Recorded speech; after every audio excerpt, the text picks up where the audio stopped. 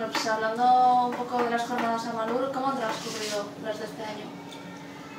Bien, han transcurrido bien. Sobre todo, si haces un análisis cuantitativo de gente, ha sido, la verdad que ha sido un éxito porque es la primera vez que en el topic se queda gente sin entrar. ¿no? El último día con Javier Reverte, no sé qué, estaríamos hablando de... unas 400 personas casi. 230 y 253 en la sala principal y luego más o menos unas 100 personas en los, espacios y luego hubo gente que se, que se quedó sin entrar.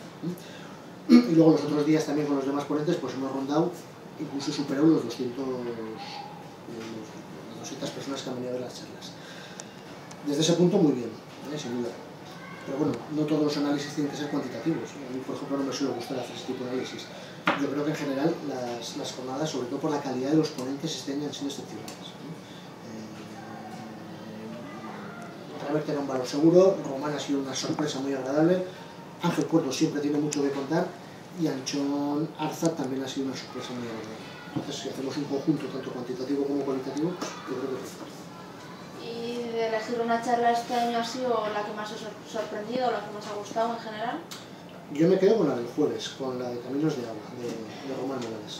Me parecía un tío, primero, como persona chapó, como persona chapó. Y luego, lo que más me sorprendió fue, por una parte, eh, que todo lo que contaba era muy creíble, es decir, sus aventuras, por llamarlo de alguna manera, son muy creíbles porque él las ha vivido con mucha pasión.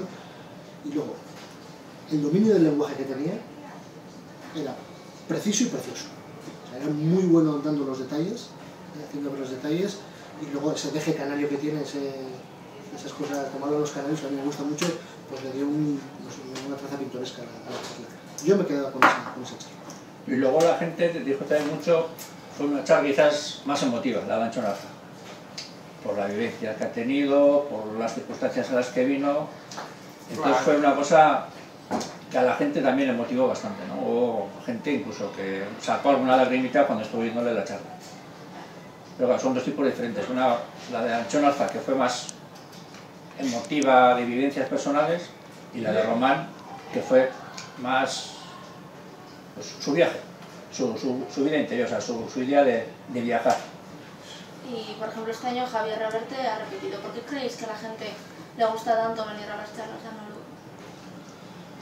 bueno, es un tema en que todo el mundo se puede sentir partícipe, todo el mundo ha viajado. O sea, tú mismo has viajado. Entonces, en función del tema que toques te va a venir más gente o menos gente. En función del ponente que traigas te va a venir más gente o menos gente. Pero es un tema divulgativo que llega a todo el mundo y que estamos viendo que gusta a todo el mundo. Porque, bueno, si tú haces un análisis de la gente, este suele hacer muy bien, ¿eh? un análisis de la gente que viene a la charla, es gente, para que me entiendas bien, de todos los colores y todos los sabores, no es gente especializada. ¿no? Entonces, yo creo que el éxito de Amalur se debe a eso, que es algo atractivo y algo que la gente lo puede, eh, bueno, lo puede interiorizar como una vivencia. O, bueno, si te gusta ver a ponentes que, bueno, pues, que has oído o que has visto por televisión, etc. Yo creo que el, éxito, a grandes rasgos, María, se debe, se debe a eso. El tema de este año han sido los ríos, idea que nos queda. ¿Cómo así se os ha ocurrido esta idea? Una larga historia. Es una larga historia. Bueno, miento. Bueno, es una larga historia, porque justo cuando terminamos las, las, charlas del año pasado, lo que solemos hacer siempre es dejamos un pequeño espacio de tiempo pues para, digamos, oxigenarnos un poquito y al mes, mes y medio nos solemos juntar otra vez pues para hacer una especie de, valoración y, poner, bueno, pues eh, estructurar un poco las jornadas del, próximo año. Pues este lo hicimos y el primer tema sobre el que íbamos a trabajar era este mismo ¿eh? inclusive se hablaron ponentes que han, venido este año.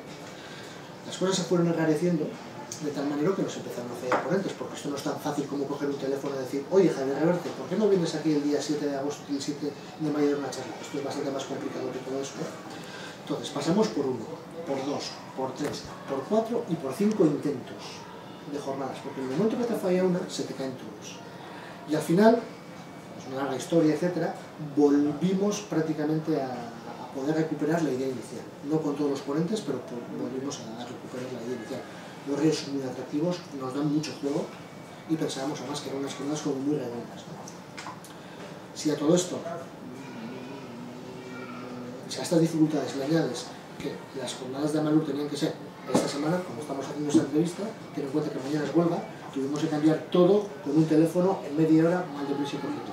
Pero bueno, fue muy claro, nosotros lo hablamos. Todo lo malo ya ha pasado. A partir de ahí, Mm, Peor que no puede ser. Creo que puede ser. Entonces, bueno, tuvimos una, mucha suerte porque nos quedó todo muy bien. Pero el tema es, primero, porque nos parecía muy atractivo, segundo, porque encontramos ponentes que podían hablar y sintetizar muy bien lo que queríamos proponer nosotros a la gente sobre los grandes ríos y, y porque bueno, los ponentes han sido sí. Y cuando siempre se organiza una jornada o un plan, siempre se suelen crear unas expectativas. Vosotros supongo que tendréis unas expectativas para estas jornadas. ¿Se han cumplido? Las expectativas son siempre, primero, lograr los ponentes que queremos que sean, que suele ser bastante complicado. Y luego que esas charlas, bueno, intentar hablar con los ponentes qué tipo de charla van a dar, si va a ser con película o diapositivas o solo hablar. Sobre el tema ese, aparte, pues empezar a dividir un poco en temas para que no se repita el mismo tema en las diferentes charlas. Y luego ya la expectativa siguiente es saber qué ponentes podemos seguir primero, que sepan del tema, Segundo, que sepan exponerlo, que parece fácil, pero es... Y luego, claro, y que sepan transmitir a la gente. Nosotros hemos tenido ponentes que sabían muchísimo sobre un tema, pero luego no sabían transmitir a la gente. Entonces queda una charla un poco pobre. O sea, da mucha información, pero la gente se queda como, como estancada. No Entonces, suele ser, el problema suele ser ese. Y luego las diferentes expectativas que a la gente le guste y la gente venga. ¿Tú a cuántas conferencias has venido? Yo pues a dos A dos. año. ¿Qué te ha parecido? La de Javier Roberto muy buena. Muy Muy buena. buena, sí. Me gustó mucho, me pareció que en su justo momento decía lo que tenía que decir, o el chiste, o el taco, o contar la historia. ¿Y de cuál más viniste? Ángel Cuerdo. Ángel Cuerdo. ¿A ti te gustó? Me gustó, pero un poco más lenta. Sí. Un poco más lenta, se te hizo más larga. sí. Es la diferencia. Pues ahí, ahí has visto la diferencia. Ángel tiene mucho que contar, pero no es tan profesional, aunque no lo hizo mal, ¿eh? Pero no es tan profesional o no tiene la, digamos, el saber estar que tiene un Javier Reverte delante de 400 o de 300 personas. Fíjate, se quedó gratamente, gratamente impresionado que Javier Reverte estuvo aquí hace 7 años. Cuando estuvo hace 7 años, en las primeras jornadas de Amalur, llenó la sala de cultura, porque era muchísimo más pequeña, Están 120 personas, ¿no? y llenó, que nunca se había visto, lo que es el pasillo de la calle, en lo que es justo la casa de Escolapios, el pasillo del callejón, eso, la gente le escuchó desde. Y bueno, yo creo que no, no se acordaba un poco de, ese, de ese detalle. Y venía ahora, y la semana pasada había estado en una charla en Madrid para la Fundación Mafia, y venía emocionado porque había conseguido meter a 180 personas en Madrid. Y cuando vino aquí, y vio tanta gente, dijo, Alberto, vamos a tener una cerveza por el niño escénico. Entonces, claro, está- se quedó gratamente alucinado, ¿no? Dice, "Joder, pues un pueblo como Estolosa, que de repente puedas meter a tanta gente aquí, eso dice también mucho de la gente que, que viene, ¿no? Las, las. Entonces, no sé me habéis preguntado, pero yo a No, las de expectativas. buenas. Bueno, Más, pues, María. Acerca de Amalur, esto es todo.